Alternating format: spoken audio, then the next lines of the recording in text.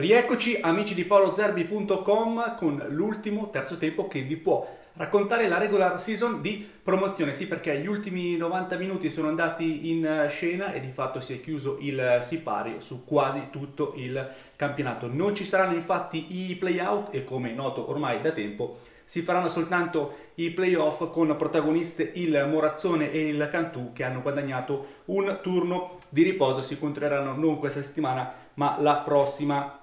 Fatale alla Cassano, la giornata forse più nera nella lunga carriera del capitano ed ora allenatore del Villa Cassano appunto Altin Sciala, sì perché dopo il gol dell'allentatese di Canavesi nel primo tempo il capitano ha due volte dal dischetto la possibilità di impattare e eh, sbaglia, o meglio cicca la prima volta, non sbaglia la seconda volta al 47 della ripresa, ha tra l'altro l'occasione un minuto dopo per fare il gol del 2-1 ma a porta spalancata non riesce a trovare il gol che sarebbe valsa la uh, post season e quindi i playout. In caso di vittoria chi avrebbe, chi avrebbe incrociato il Villa Cassano? Il Valle Olona, sì perché il Valle Olona cade in casa sotto i colpi di Caccia e di Berton e quindi la squadra di Luciano Cau al novantesimo era salva e eh, tranquilla, avrebbe inguagliato la squadra di Massimo Rovellini ma il Villa Cassano non ha fatto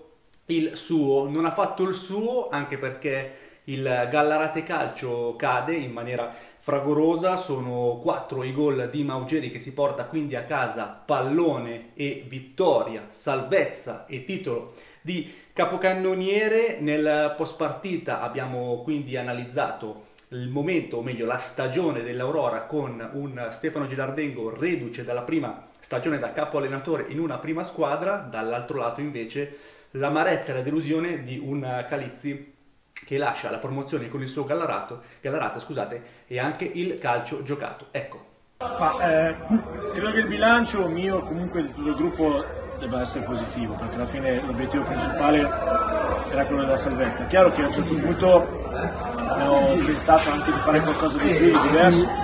poi sono entrate delle difficoltà particolari e, questo non è stato possibile. Eh, bilancio è di un'esperienza importante, eh, di un obiettivo centrato, quindi eh, sono contento anche se un po' rammarico del fatto che forse con qualche infortunio in meno, con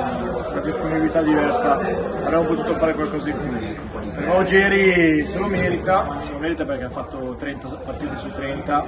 anche quando ha avuto problemi fisici fatto in campo. È inevitabile che dire che è stato il nostro terminale offensivo, senza di lui non avremmo mai raggiunto questo risultato. Finita male, purtroppo c'erano anche di alcune partite, potevamo vincere, ma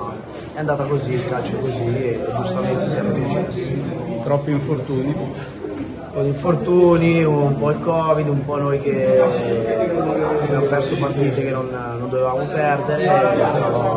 il verdetto è questo. Rieccoci, quindi il Gallarate tra l'altro saluta la promozione, pensate un po' con un ultimo posto e va a far compagnia alla già retrocessa Olimpia che ha battuto in una gara che però non valeva a livello diciamo di, così, di classifica se non proprio per superare il, eh, il Gallarate, la Besnatese e il Villa Cassano che appunto eh, si accontenta di un pari con l'Alentatese che lo costringe a, ad andare in prima categoria. Ma ora dobbiamo analizzare il momento di chi la prima categoria la vuole lasciare e ovviamente dopo una domenica decisamente eh, così tumultuosa con tra l'altro poi l'addio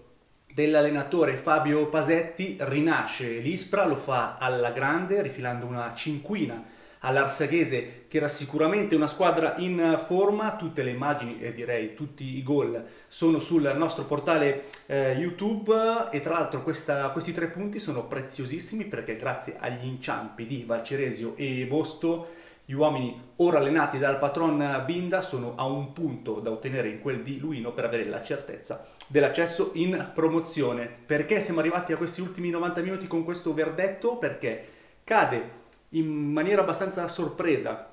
perché basta un gol al quattordicesimo di, di,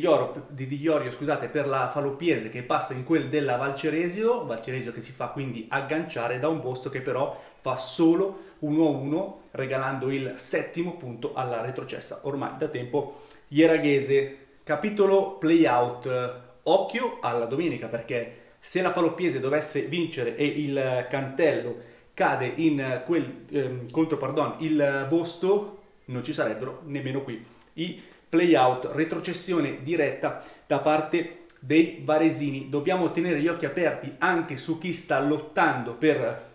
conquistare i playoff.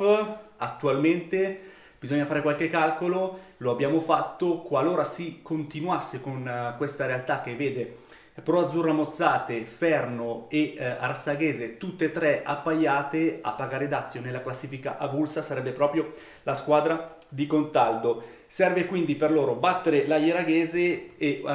uh, si spera almeno in un assist del San Michele, matematicamente non tagliato fuori proprio dalla lotta per i playoff e avversario del Mozzate. Con uh, questo è tutto, io vi, vi, ringrazio per l'attenzione che avete avuto con noi in questa stagione di promozione vi rimando a settimana prossima quando parleremo sicuramente di verdetti decisamente importanti in quel di prima categoria. A presto!